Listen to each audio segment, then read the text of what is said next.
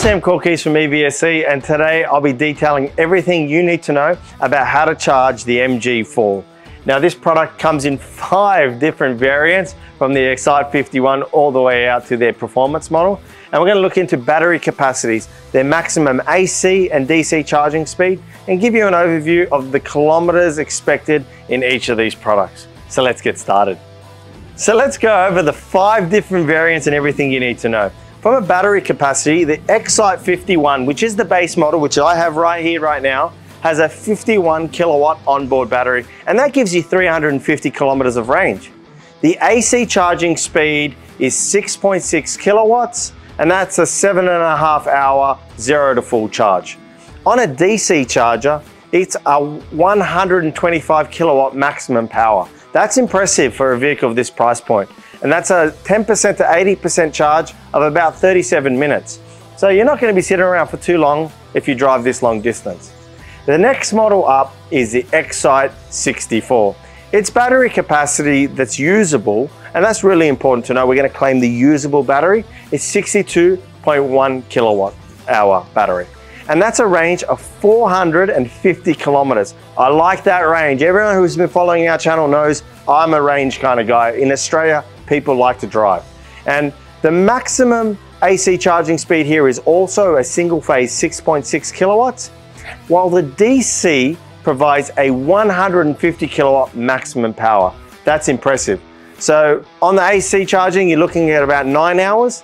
On a fast DC uh, charger, you're looking at a 10% to 80%, which is what we're using today, of 28 minutes. So the next level up is the Essence 64. Again, very similar here. We're looking at a 62.1 kilowatt battery, 435 kilometers of range, so slightly less than the Excite 64, but the maximum AC and DC charging speeds are the same. You're looking at a 6.6 kilowatt single phase onboard system, so nine hours to fully charge, and then the DC is 150 kilowatts, again, about a 28 minute charge from 10% to 80.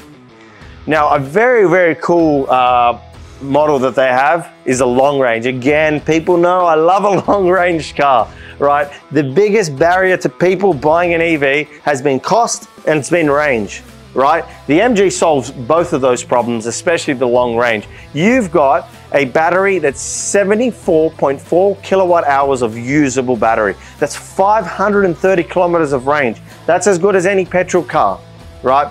But there's some differences here on the charging speeds. For AC charging speed, this one can be 11 kilowatt three phase. So you can actually charge this car faster at home if you have three phase or in public. Uh, and that's a seven hour zero to full charge. While DC, this goes all the way up to 180 kilowatts. So again, a 10% to 80%, 38 minutes. Very, very impressive numbers from the long range product. And then the final vehicle is what they call the MG4 X Power. Okay, so I'll quickly run through this one. It's very similar to the Excite 64. It's got a 62.1 kilowatt battery, but it's only got 400 kilometers of range because this car's more powerful. It's actually 0 100 in 3.8 seconds. That's impressive numbers. I call this the hot hatch, you know, the GR version, the Nismo version that MG is bringing out. Uh, and that's really exciting because it's, it's, it's a true hot hatch. Um, and then of course, it's a single phase onboard system. So you're looking at about nine hours uh, charge. And of course, on the DC, it's gonna take about 28 minutes if you find the right high powered DC charger. Okay, and that's the five variants there. There's a lot to go through. We're putting that on the screen. Of course, always consult the MG website if you ever need exact up-to-date numbers, uh, but that's data as of 2025. So let's get into this and uh, actually plug some chargers in and see what happens. So to charge the car is pretty easy. It's here on the back left. It's quite nice actually. Just press this button, pops open. And as you see, like any good EV, it's a CCS2 port. What that means is at the top is the AC charging port. It's that smaller plug head. And then if you pull this bottom section off, that exposes the DC charger.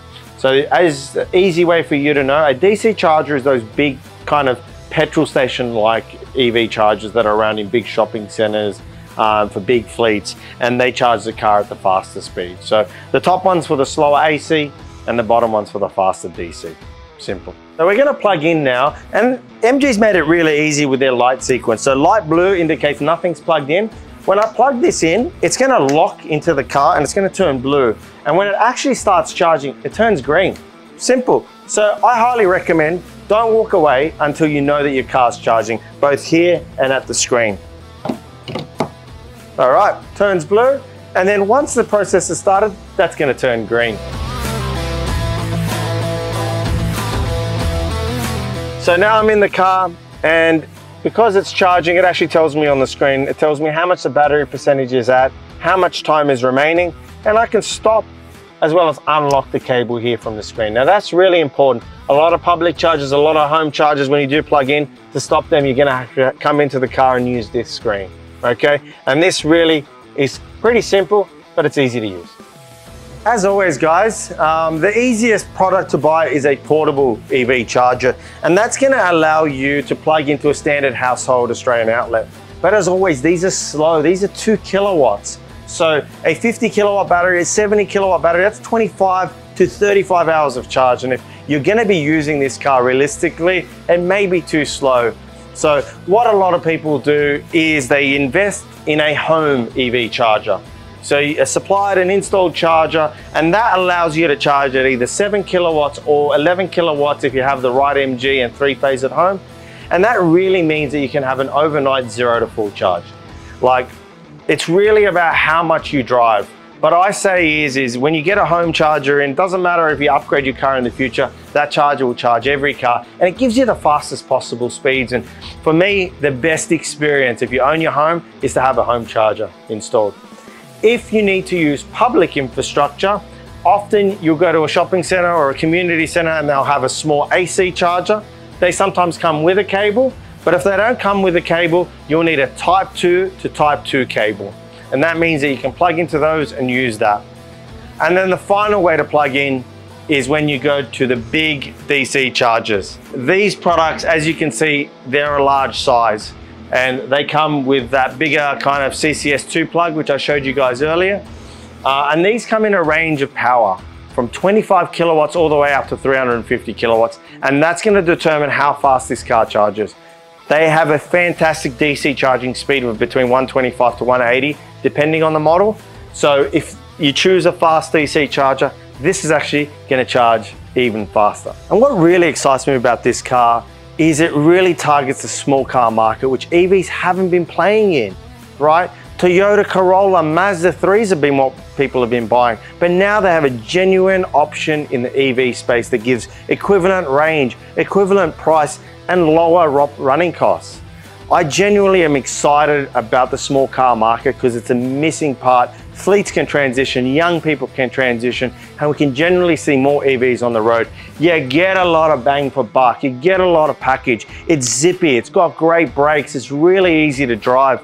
I was actually surprised at how comfortable I was driving this car very quickly. So I'm Sam Korkees and on behalf of the EVSE team, if you need anything on how to charge an EV, accessories or parts, feel free to reach out and we'll gladly support you. Bye for now.